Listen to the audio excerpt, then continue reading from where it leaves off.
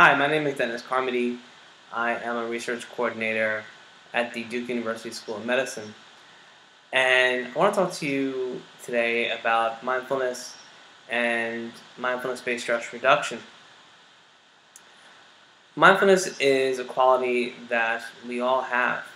It's the ability to bring awareness to, to the present moment without judgment and with acceptance.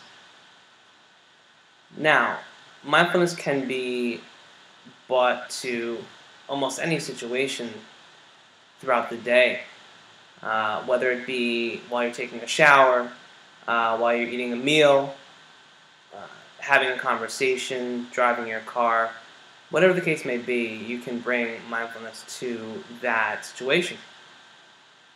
For example, uh, when you're eating a meal, uh, can you feel the food in your mouth as you're chewing it? Can you feel all the textures? Uh, taste all the flavors? And feel it as it is going uh, down your throat and into your stomach. Now, mindfulness has been shown to be effective in coping with a variety of different uh, health conditions. For example, chronic pain, difficulty sleeping, uh, high blood pressure, and also the two conditions that I want to talk about a little bit more today uh, anxiety and depression. Now, how can mindfulness be used to help cope with anxiety and depression? Well, since mindfulness is uh, the ability to bring awareness to your present moment, uh, you can use that to observe uh, your negative thoughts and feelings, feelings of worthlessness and guilt, uh, in the case of depression, or worries about what tomorrow might bring in the case of anxiety.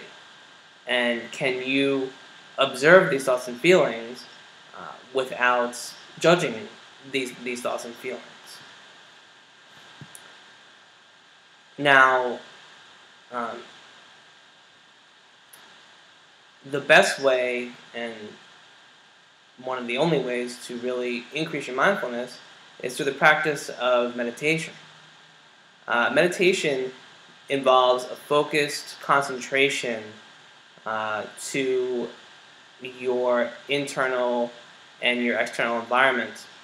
Uh, one of the key meditation practices, one of the key fundamental meditation practices is uh, awareness of breath meditation.